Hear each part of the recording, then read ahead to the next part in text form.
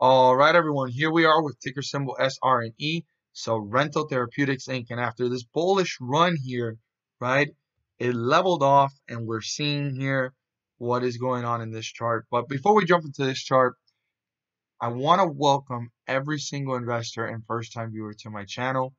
Welcome to my channel, Invest for Tomorrow. Hope you guys find this video helpful and informative. And to all my subscribers, welcome back and let's see what the charts have to say. So as I was stating, this bullish run, we can see how it leveled off and we can clearly see what the charts are showing us here, that there was a slight recovery, but we're going to have to move these resistance levels and supports to their new locations. Now it's pretty awesome to see that resistance was broken through after the bears bringing this below the 50-day moving average by default because the 50-day moving average started catching up to the price and the bears honestly lost control here because the bulls quickly reappeared, brought this one up, and closed out at 975. So let's go ahead and move this to its new locations, our new resistance levels and support.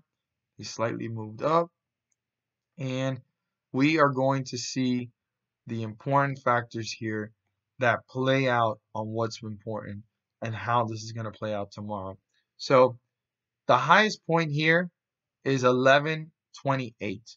1128 needs to be broken through by the bulls to continue to work their way up to newer highs. I mean, that's the highest point reached after this recovery from a very bearish run that Sorrento had for quite some time. I mean, when we go all the way out, it was just falling and falling, and that's the highest point that it's reached. So very important to break through that for the bulls. Now, let's zoom in here and see our important resistance level and support levels for tomorrow. So it closed out at 975 for the bulls to continue to stay above the 50-day moving average and work their way up deeper into bullish territory, they will need to break through this resistance level. There was a rejection at that point, and this resistance level is 982.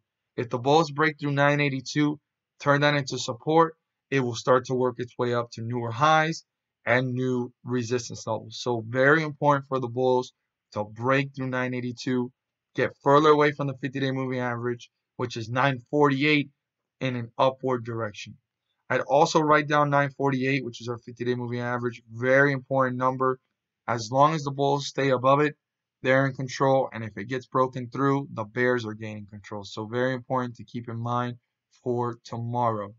Again, I want to emphasize that 982 needs to be broken through by the bulls so this can start to work its way up to newer highs.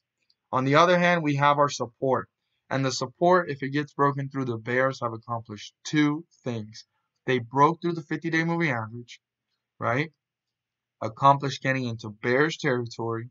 And they just broke through the first support that honestly was touched twice in the day.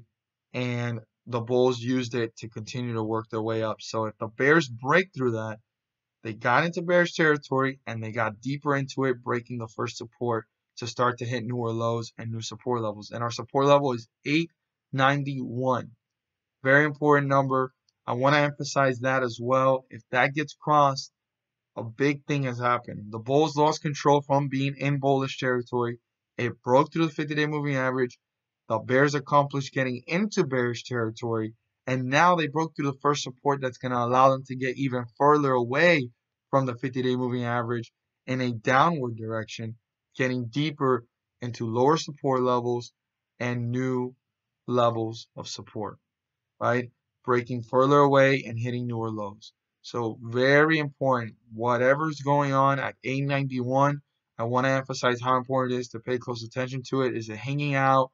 Are the bulls trying to reappear and bring this back up? Or is it just breaking through it and hitting newer lows fairly quickly, getting further away from 891? I highly encourage you guys to check out my other videos that it's about to pop up. It's actually talking about the pump for tomorrow. So if you guys haven't seen that, double check that video. If you guys have been overlooking it or if you're a first time viewer, I highly encourage you to go check it out. Great information in there for a lot of investors that have been missing out on that. And it's really a great way for us as investors to take advantage of the opportunity to make some money. And Obviously, you have to do your due diligence and research, but check it out. I highly encourage you guys to check out the video that's going to pop up at the end. And anybody that found this video helpful and informative and feels inclined or encouraged to subscribe, please do so. But don't forget to click on the bell by turning on all notifications to not miss a single video that I post. Share us with your friends in your community. And thank you guys so much for watching. And let's make some money.